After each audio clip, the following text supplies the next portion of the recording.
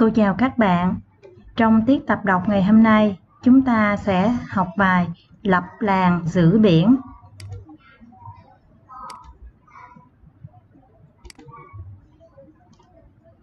Trước khi đi vào bài đọc, cô giới thiệu cho các bạn về vùng biển của nước mình. Đây là cái bản đồ hành chính của Việt Nam. Các bạn à, quan sát bản đồ. Chú ý cho cô đường bờ biển của Việt Nam. À, các bạn chú ý theo cái uh, lượt đồ và cái uh, đường à, ranh giới màu đỏ này. Đường bờ biển của Việt Nam thì dài khoảng 3.260 km. Và đường bờ biển này được kéo dài từ Móng Cái, tỉnh Quảng Ninh cho đến tận Hà Tiên, tức là vùng Kiên Giang. Thì ở dân ở vùng biển này chiếm khoảng 1 phần 3 dân số của nước ta. Trước khi đi vào phần tập đọc, các bạn hãy dùng bút chì, vạch số dọc để phân đoạn bài tập đọc này. Bài này khá dài cho nên cô sẽ chia thành 4 đoạn. Đoạn 1 từ đầu cho đến tỏa ra hơi muối. Đoạn 2 từ bố nhụ vẫn nói cho đến thì để cho ai. Đoạn 3 ông nhụ bước ra cho đến quan trọng nhường nào. Đoạn 4 là phần còn lại. Bạn nào à, có sách giáo khoa thì mình đọc sách giáo khoa, hoặc là các bạn có thể đọc trên cái slide trình chiếu của cô.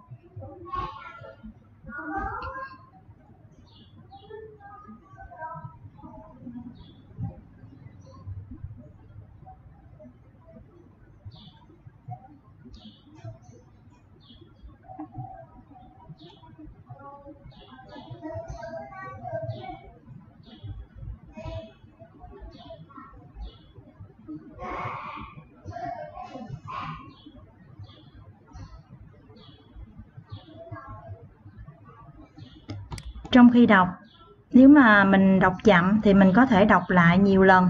Mình có thể bấm nút dừng để mình đọc lại nhiều lần bài cho rõ. Thì có những câu dài các bạn phải biết ờ, ngắt câu để cho câu rõ nghĩa. Cô ví dụ như câu, ông đã hiểu những ý tưởng hình thành trong suy tính của người con trai ông quan trọng nhường nào phần cô gạch sổ dọc này à, đó là phần các bạn à, ngắt câu các bạn hãy đọc cho cô câu hỏi số 1. Bố và ông Nhụ bàn với nhau việc gì? Để trả lời câu hỏi số 1, các bạn đọc cho cô đoạn 1. Dùng bút chì và thước, các bạn gạch dưới câu trả lời có trong sách giáo khoa. Sau khi gạch xong, các bạn cùng dò câu trả lời với cô. Bố và ông Nhụ bàn với nhau việc hợp làng để đưa đàn bà và trẻ con ra đảo rồi sau đó đưa cả nhà nhụ ra đảo để sinh sống. Như vậy trong đoạn 1 nội dung chính là gì?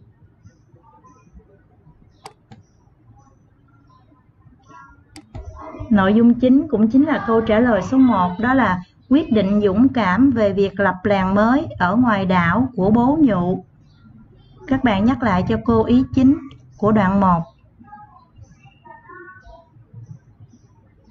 Rồi chúng ta qua câu hỏi số 2. Việc lập làng mới ở ngoài đảo có lợi gì? Các bạn đọc phần 2 để tìm câu trả lời. Tương tự dùng bút chì để vạch dưới câu trả lời.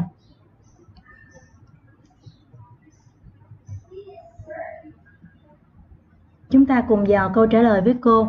Việc lập làng mới ngoài đảo có lợi đó là ở đấy đất rộng, bãi dài, cây xanh, nước ngọt, ngư trường gần, chả còn gì hay hơn cho một làng biển. Ngày xưa, lúc nào cũng mong có đất để dân chài phơi một vàng lưới, buộc một con thuyền.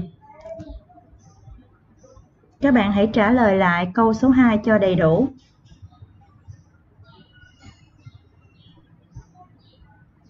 Như vậy, nội dung chính của đoạn 2 chính là câu trả lời số 2 của mình.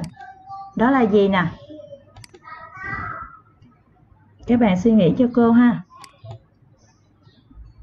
Trong đoạn 2 này có ờ, từ ngư trường. Các bạn ờ, quan sát cho cô bức tranh. Đây là hình ảnh của ngư trường và kết hợp với phần ờ, đọc lời chú giải sách giáo khoa trang 37. Ngư trường đó là vùng biển có nhiều tôm cá, thuận tiện cho việc đánh bắt. Và từ thứ hai đó là từ vàng lưới. Các bạn xem đây là hình ảnh của vàng lưới. Vàng lưới là g bộ lưới gồm nhiều tấm, có phao, chì, dùng để đánh bắt cá và các hải sản khác.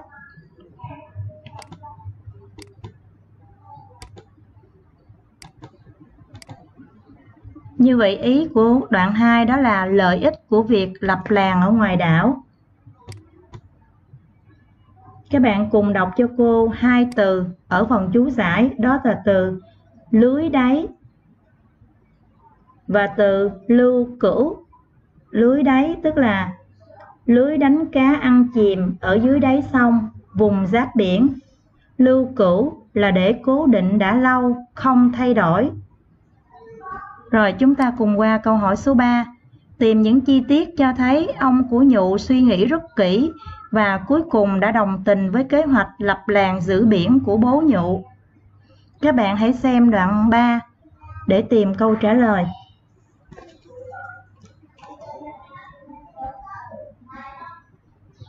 Rồi cùng dò câu trả lời với cô.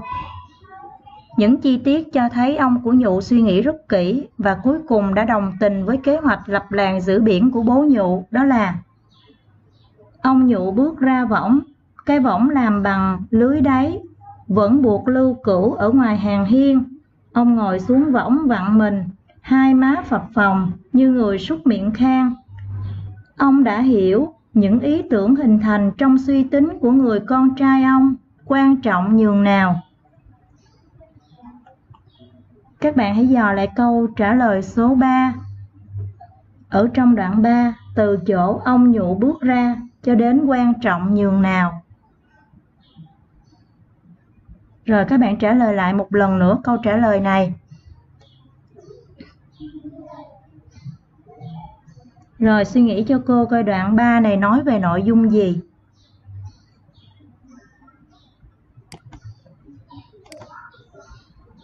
Nội dung của đoạn 3 đó là ý tưởng lập làng được ông của nhụ đồng tình. Chúng ta đi vào câu hỏi cuối cùng. Nhụ nghĩ về kế hoạch của bố như thế nào?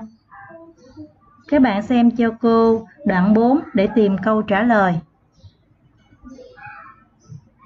Cùng dò câu trả lời với cô.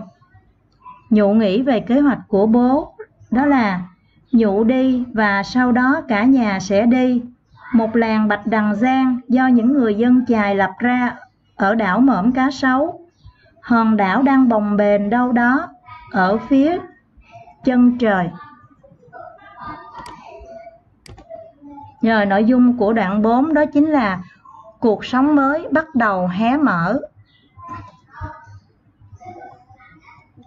Các bạn hãy đọc thầm lại cả bài một lần nữa để mình cùng tìm nội dung chính của bài.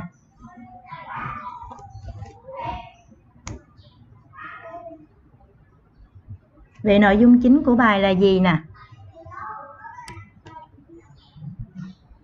Đó là bố con ông nhụ dũng cảm lập làng giữ biển. Các bạn hãy đọc lại nội dung chính một lần nữa.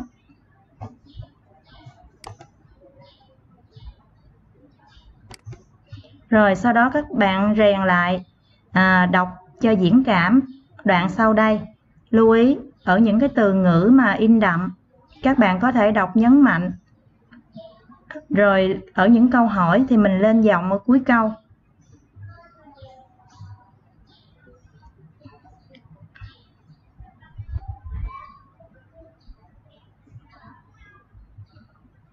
Các bạn nhớ chúng ta có thể đọc lại nhiều lần để mình à, rèn đọc cho tốt hơn.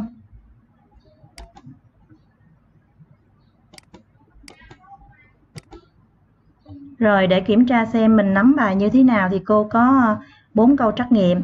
Các bạn hãy đọc, để xem coi bố nhụ đã giải thích cho ông nhụ, việc lập làng mới ở ngoài đảo có lợi như thế nào.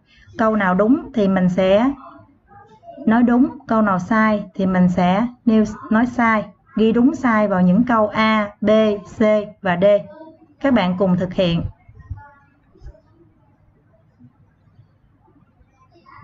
Rồi kiểm tra kết quả với cô nha. Câu A. Nơi ấy đất rộng, bãi dài, cây xanh, nước ngọt, ngư trường gần, thích hợp để lập một làng biển. Câu B. Ở đó bờ biển thơ mộng, nắng trải dài, bãi cát, khung cảnh lãng mạn, thích hợp để dưỡng già. C. Đất của nước mình, mình không đến. Thì để cho ai? Câu D. Ở nơi đó bình yên, không bon chen như trên đất liền. Rồi đáp án A đúng, B sai. Câu C đúng và câu D sai.